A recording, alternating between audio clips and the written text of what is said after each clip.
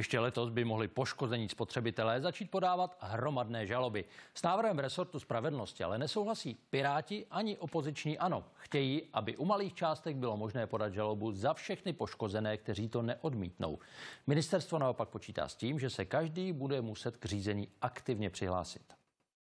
Předloňské krachy dodavatelů energií pro stovky tisíc domácností znamenaly ze dne na den mnohonásobné zvýšení plateb. Dříve eh, jsme platili zálohy u firmy Kolibřík, eh, tam to byla částka 3000 korun měsíčně. Firma ale vypověděla smlouvu a rodina musela začít plyn odebírat od dodavatele poslední instance. Je tam částka 16 900 korun měsíčně.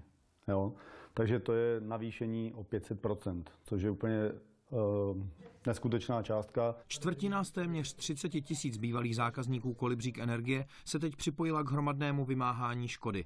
Peníze chtějí získat i tisíce klientů, které poškodil krach firmy Bohemia Energy. Celkem jich ale byl téměř milion. Podstatná část bývalých zákazníků té možnosti využít nechtěla. Uspokojilo je, že jim Bohemia Energy vrátila přeplatky, když skončila. Zájemci o odškodnění se museli aktivně přihlásit a poslat vyúčtování a smlouvy s bývalými i současnými dodavateli. Ministerstvo spravedlnosti chce tzv. přihlašovací princip zachovat i v nových pravidlech hromadných žalob. Kdo chce se rvát o svoje práva, také proto něco musí udělat. To je ten náš návrh.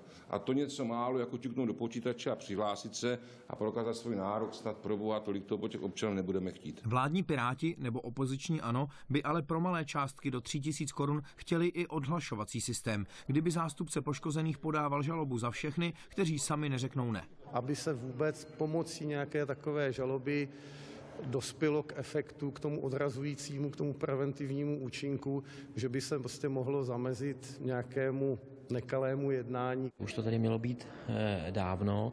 Ten institut hromadných žalob eh, zoufale chybí v českém právním řádu. Já moc nerozumím tomu přešlapování ze strany eh, vlády. Podle návrhu Ministerstva spravedlnosti by hromadné žaloby měly začít fungovat na konci června. Právě to je totiž termín, který všem unijním státům nařizuje Evropská směrnice. Pavel Šetr, Česká televize. Skandál